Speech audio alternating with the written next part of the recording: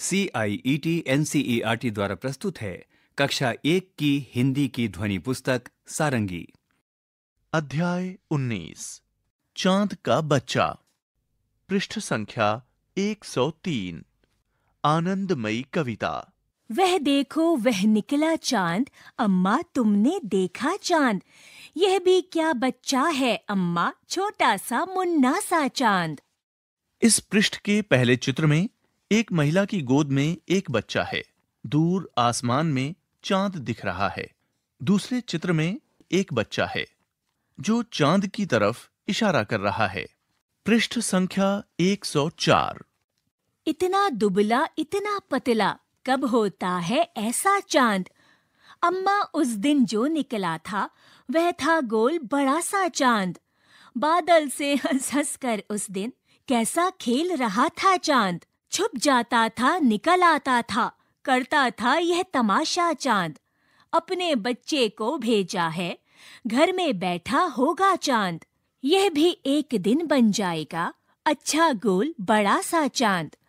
अच्छा अम्मा, कल क्यों तुमने मुझको कहा था मेरा चाँद? अफसर मेरठी। इस पृष्ठ पर दिए गए पहले चित्र में चाँद बादलों की ओट से झाँक रहा है और वो उदास है।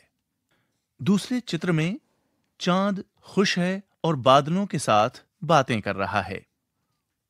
तीसरे चित्र में चाँद बादलों में सोया है। पृष्ठ संख्या 105 बातचीत के लिए। एक यह कविता किसके विषय में है? दो कविता का नाम चाँद का बच्चा क्यों रखा गया होगा? तीन आप इस कविता को क्या नाम देना चाहेंगे और क्यों? चार। क्या चाँद हमेशा गोल ही दिखता है? पाँच। आपकी माँ आपको क्या कहकर पुकारती है? शब्दों का खेल। यहाँ दी गई वस्तुएँ कैसी हैं? गोल चौकोर तिकोनी। रेखा खींचकर मिलाइए।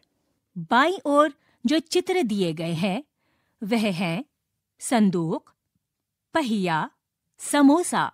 दाईं ओर जो चित्र दिया गया है उनमें त्रिकोण चौकोर गोला। तुक मिलने वाले शब्दों को खोजकर लिखिए। गोल रिक्त स्थान। चाँद रिक्त स्थान। बड़ा रिक्त स्थान। छोटा रिक्त स्थान। यहाँ पर एक बच्चे का चित्र है जो सोच रहा है। मांद खड़ा। बोल लोटा पृष्ठ संख्या 106 चित्र और बातचीत कौवे की कहानी। इस पृष्ठ पर चार चित्र दिए गए हैं जिसमें से पहले चित्र में एक कौवा उड़ रहा है। दूसरे चित्र में एक कौवा घड़े पर बैठा है जिसमें थोड़ा सा पानी है। तीसरे चित्र में कौवा घड़े में कुछ डाल रहा है। चौथा कौआ उड़ गया। शिक्षण संकेत। बच्चों को चित्रों के आधार पर अपने मन से कहानी बनाने और अपनी भाषा में सुनाने के लिए कहें। बच्चों को कहानी को आगे बढ़ाने के लिए भी प्रोत्साहित करें। पृष्ठ संख्या 107 आओ कुछ बनाएँ। अपने आसपास नीचे गिरे हुए फूल, पत्ते, डंडियाँ एकत्र कीजिए। छोटे समूह में बैठकर इनसे कुछ आकृतियाँ बनाइए। आप तितली पेड़ आदि भी बना सकते हैं। आकृतियाँ बनाने के बाद कक्षा में सभी को बताइए कि आपने ये कैसे बनाई। चित्रकारी और लेखन। दर्शाए गए चित्र में आप क्या क्या देख पा रहे हैं? कुछ नाम लिखिए। इस पृष्ठ पर दिए गए चित्र में एक मोर है। एक तोता है एक पेड़ है जिस पर फल और फूल लगे हैं। डाल पर एक घोंसला भी है। रिक्त स्थान रिक्त स्थान रिक्त स्थान रिक्त स्थान। अब इन शब्दों से वाक्य बनाइए। एक यह एक पेड़ है। दो रिक्त स्थान। तीन रिक्त स्थान। पृष्ठ संख्या 108 खोजें जाने। आपके घर के आसपास जो पेड़ पौधे हैं उनके नाम जानिए। कुछ पेड़ पौधों के चित्र बनाइए। अपने चित्र के साथ कुछ शब्द भी लिखने का प्रयत्न कीजिए। कक्षा में सभी को बताइए। खेल खेल में। इस कविता को मिलकर गाइए। दो समूह बनाइए। एक समूह प्रश्न पूछेगा और दूसरा समूह उत्तर देगा। कौन परिंदा? कौन परिंदा बोले चू चू कौन परिंदा गुटरू गू? कौन परिंदा पीहू पीहू? कौन परिंदा कुकड़ू कू कौन परिंदा बोले काव काव कौन परिंदा बोले कुहू कुहू? कौन परिंदा बोले टें टें? नकल उतारे हु बहू। श्याम सुशील। पृष्ठ संख्या 109 शब्दों का खेल। कविता में आए कौन शब्द पर घेरा लगाइए? पेड़ पर लगे अक्षरों से शब्द बनाइए। इस पृष्ठ पर एक पेड़ दर्शाया गया है जिसके पत्तों पर अलग अलग अक्षर लिखे हुए हैं जो इस प्रकार हैं। ड ली या ना डा ती आ रा त ह ता स न मो नी नो। का ली मा दी बी र म की ओ ला पा। पढ़िए और लिखिए। कविता को आगे बढ़ाइए। हमने तीन चीज़ें देखी। हमने तीन चीज़ें देखी। बाबा तीन चीज़ें देखी। हमने बाग में देखी मकड़ी। वह तो खा रही थी ककड़ी। उसके पास पड़ी थी लकड़ी।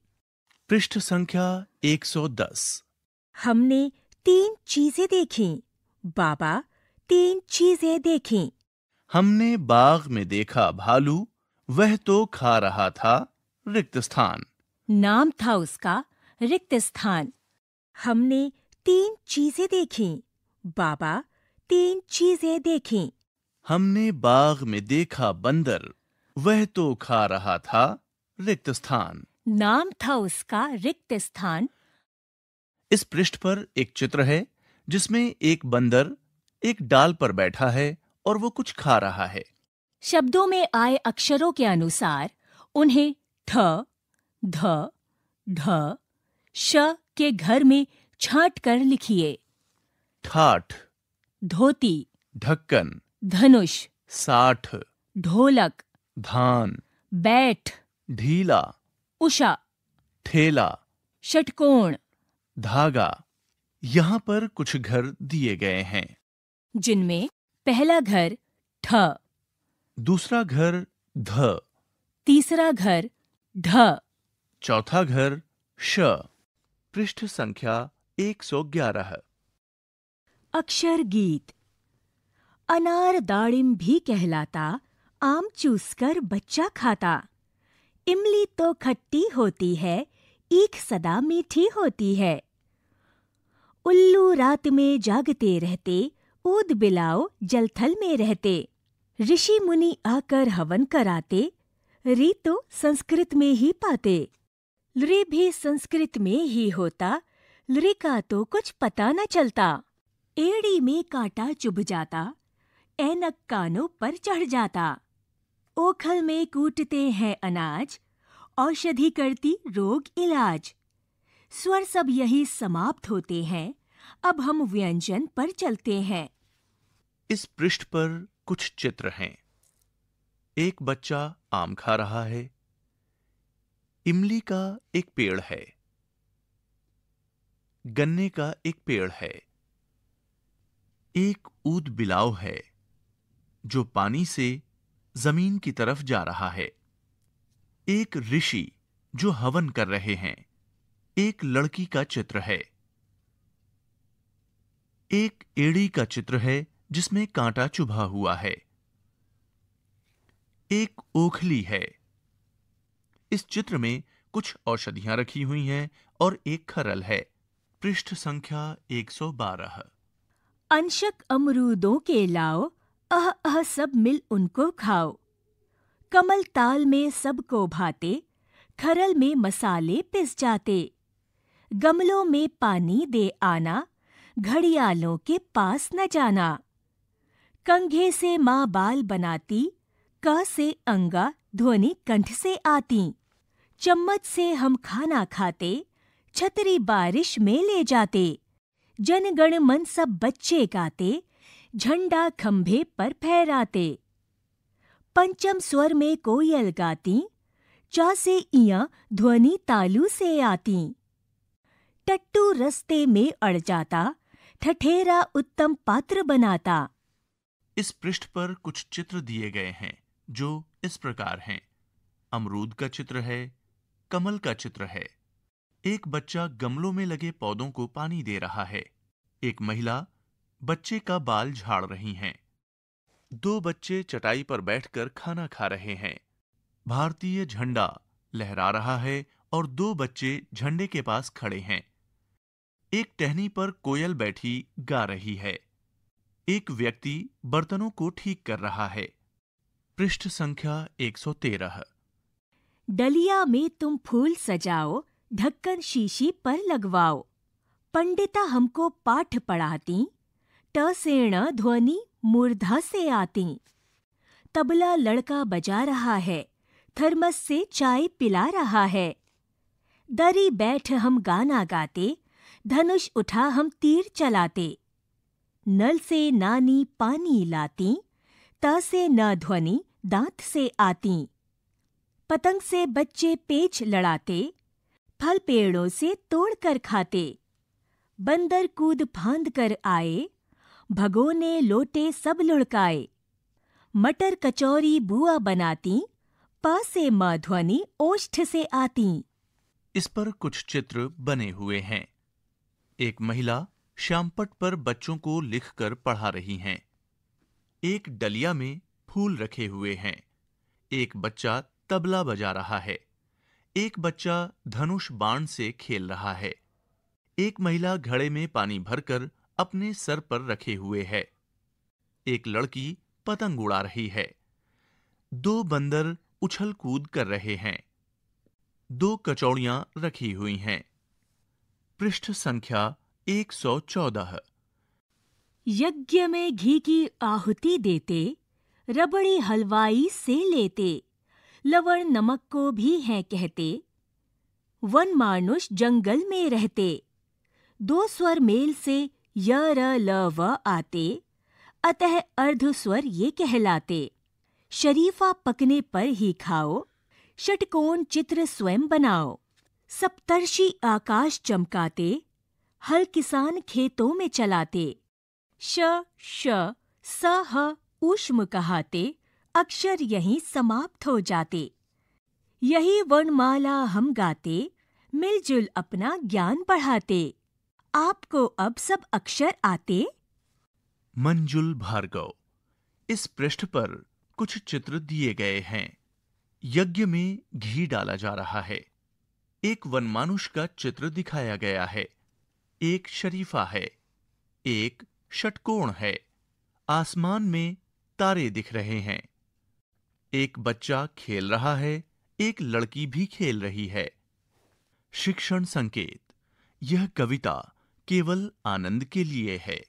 बच्चों को आनंद के साथ इसके अलग अलग खंडों को वर्ष भर गाने के लिए प्रोत्साहित करें। अभी आप सुन रहे थे कक्षा एक की हिंदी की ध्वनि पुस्तक सारंगी।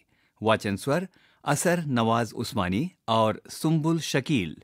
तकनीकी निर्देशन बटी लैंग लिंगडो ध्वनियांकन मयंक कुमार। निर्माण सहायक तनु गुप्ता। निर्देशन एवं निर्माण विमलेश चौधरी तथा प्रस्तुति C I E T N C E R T New Delhi, Bharat.